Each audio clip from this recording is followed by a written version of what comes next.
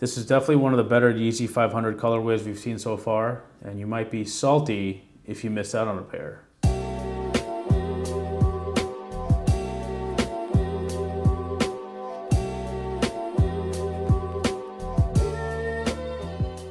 What's going on guys? Thanks for tuning into the Sneaker News YouTube channel. Today we have a brand new sneaker unboxing here for you. Uh, before we do that though, do us a quick favor, hit that subscribe button. You know, we're uploading videos almost on a daily basis. We're showing you rare pairs, upcoming releases, special promo packages, and pretty much anything else that comes into our office. So have you done that? Great. Today we are unboxing another pair of Yeezys. This is a pair of the 500 in the Salt colorway. Let's go.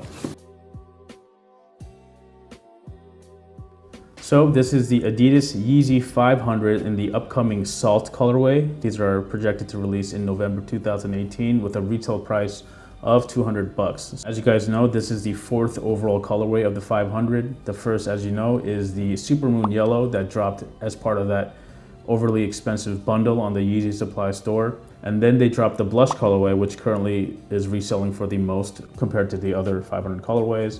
Then the Supermoon Yellows dropped as somewhat of a GR release.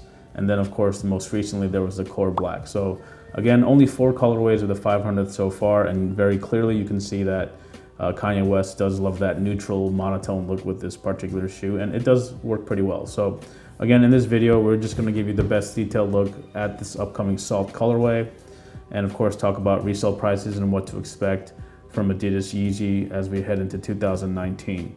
So again, salt refers to just this off-white grayish sort of tone and it is a tonal treatment from the tongue all the way down to the sole. Here on the upper you have pretty much the same as the previous three releases. You have that nice buttery suede toe box. You have a mix of meshes and leathers on the upper. Of course the contrasting little ovals right here with that suede. Uh, you have that rubberized sort of mud guard that wraps all around the shoe. As you can see, you can tell that this material stretches all the way here just for protection, of course. And on the medial side, you see more of that soft leather material.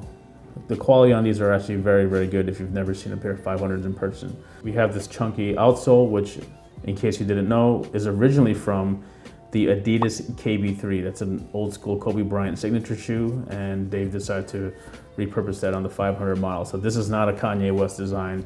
They borrowed this from the archives. The upper is, of course, entirely new. If you've never worn a pair of 500s, they're extremely comfortable. You will not find any boost cushioning, but it does use adiaprene cushioning, which in our opinion is very, very comfortable as well. You know, you're not really gonna kill your feet wearing these or pretty much any sneaker out there, but overall a solid shoe. It is probably the most affordable Yeezy shoe outside of the power phase.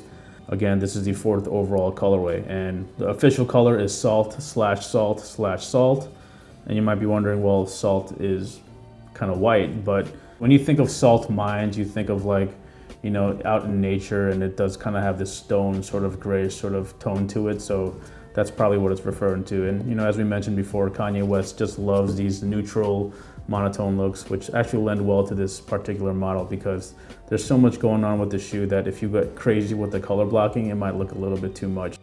Our take is that, you know, this is a great colorway on the 500 model.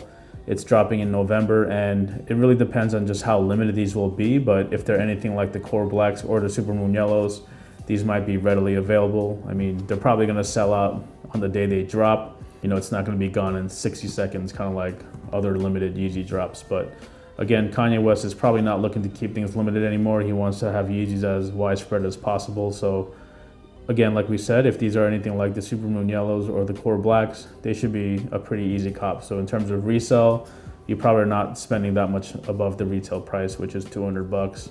I mean, right now you could find Core Blacks for around 300, and that number is probably going up. But Supermoon Yellows are still in the 250 to 300 range, depending on your size. Of course, Yeezys are reselling for a lot more if they're smaller sizes, because women seem to be really, really attracted to this shoe which we understand it's a great looking shoe.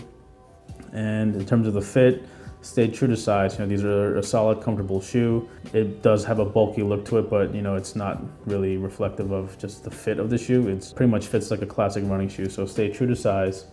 And again, like we said, it's a fourth overall colorway. It's 200 bucks and it's releasing in November. All that release date info will be updated in the links below. Check back often and you know, let us know if this is the best colorway or the worst colorway of the Yeezy 500 you've seen so far. Our personal take, it's definitely top two. We would say the blush is number one and this is number two, but you know what? They're so similar that it's kind of really hard to have like a firm opinion about which one you like and you don't like. But again, Yeezy 500s, 200 bucks, dropping in November.